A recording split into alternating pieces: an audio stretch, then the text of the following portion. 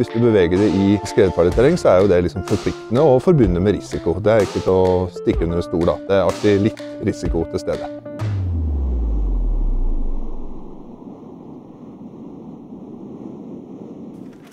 Etter du har planlagt turen og du har vært etter et område der du tenker at du kan finne trygg og god snø, når den først er da i terrenget og er klar til tur, så må den sjekke at den har med seg det utstyret som er nødvendig. Det er kameratredningsutstyr som spade, søkestang og sendemottaker. Og teste at den sendemottakeren, eller skredsøkeren som den også kalles, at den fungerer.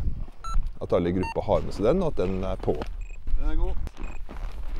Så når du først er på tur og skal ferdes i et område, hvis det er sånne punkt som du tenker at her er litt usikker på bratthet, jeg er litt usikker på snøen, men du tenker at du velger å gå forbi det punktet, eller i det partiet av henget, eller i det henget, så vil det lønne seg å spre seg ut med avstand. For da vil du redusere belastninga på snødekket, altså vekta som du får oppå snøen, den vil reduseres.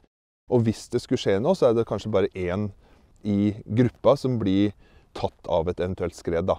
Sånn at de andre i gruppa kan søke å redde vedkommende.